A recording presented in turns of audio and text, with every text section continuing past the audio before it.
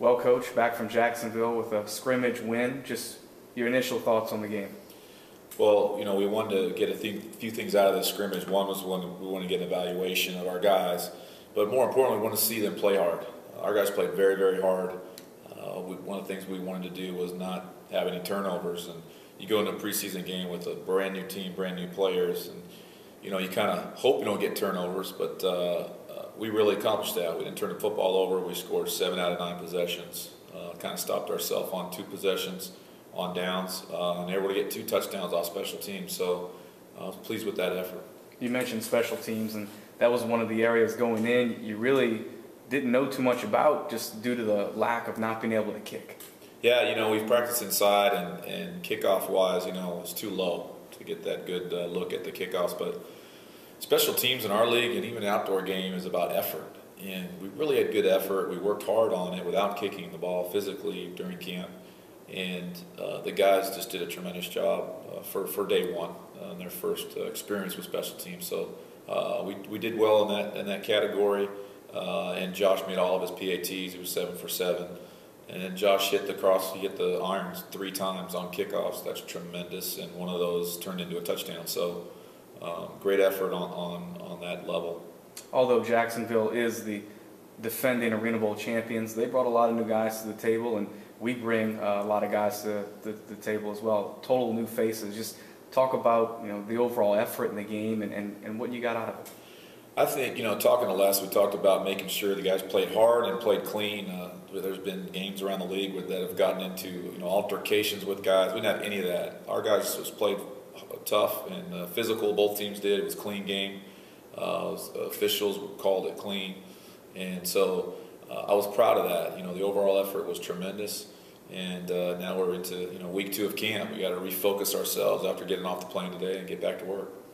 Looking at the final stat line of the game, looks like your defensive backs have have really uh, shown a lot of progress, and, and the scrimmage showed that. Would you agree? You know, I, I think that uh, Coach Planning's done a really good job with them.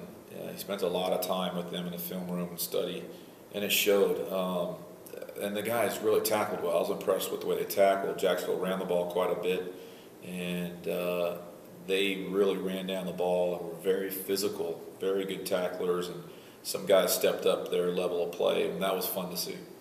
Looking at your wide receivers, and we talked about this before we started this interview, got yourself a bit of a logjam there. Tell us about that. that's a good problem to have. We've got, you know, six receivers uh, with Josh Bush coming in here shortly uh, that can all play, and then really all everyone did good things in the in the scrimmage. Um, you know, it's going to be tough. You know, only three can play at a time, so it's very very competitive. I think that's a good thing, and uh, we've got another week to kind of sort things out. Looking at your quarterbacks, that's going to be something that everyone's going to want to know as we move forward. Kurt Rocco, Brian Zbydniewski, both guys played well in the scrimmage. I'm happy with both of them. They uh, they both got really good attitudes too, and uh, Kurt started it off and uh, started the third quarter, and and uh, Zeb came in in the second quarter and played almost the whole fourth quarter. So they both played a lot of snaps. They did good things. They took care of the ball. Uh, those were all positive things. They got the ball in their hand on time, made quick reads. We had a couple of miscues, but I'm pleased with both their efforts. So that's a good thing for the Voodoo to have two guys that are capable. Sometimes the, the guys in the trenches get forgotten about, and we won't forget about them in this. Just tell me about the overall effort there and, and what your uh, thoughts were for that. Well, on the offensive side, I thought we protected pretty well. Uh, we had a couple of mental mistakes, um, which are disappointing but fixable, and those are things that we'll study tomorrow with our with the film with the guys. Uh, defensively, we got some guys learning the game about how to rush the edge and get after the quarterback, and uh, but the main thing is they had effort. So there's some fixable things that we'll get out of this film tomorrow, which will be important. Uh, but the effort was, I can't say that enough, uh, it's pleasing as a coach. You want to see that. We have that. Uh, it's something to build on. We have a long way to go. I mean, there's no question about that. But uh, it's a good start for the guys and for us as coaches uh, to move on to week two. You mentioned tomorrow in week two. Just tell us what is in store for these guys moving forward. Well, uh, I'm glad that we were able to kind of have a preseason game, get on a plane, go through that process of a game on the road and travel back and then have the understanding right back to work tomorrow. So I think that's a good lesson for these younger players. uh, we're at watching film tomorrow, and we're right back in pads, and we're going to get after it again. We've got to refocus. This preseason game's over.